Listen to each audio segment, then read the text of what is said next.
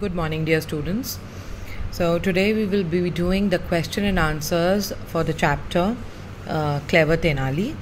And um, let us start. So, uh, the format is going to be the same.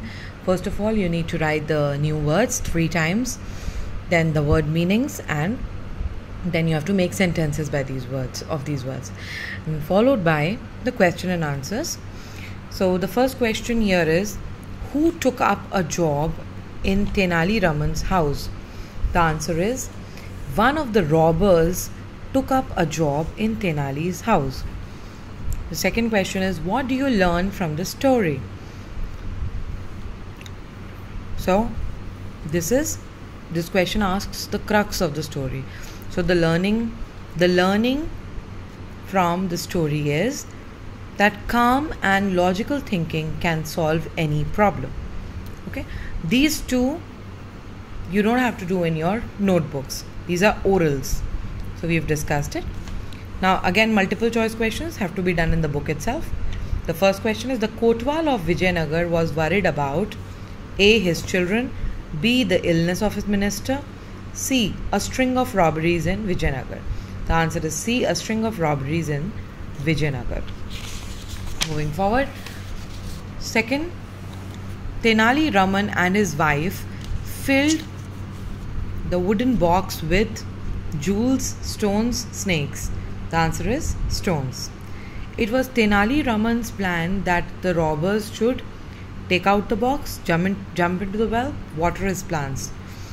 So the answer is take out the box. Now, these questions, my dear students, you will have to do in your notebooks. So in this video, I'm going to share first four question answers. First question is what did Tenali Raman ask his wife to do? The answer is Tenali asked his wife to spread stories about their wealth. Second question is what did the robber tell the chief?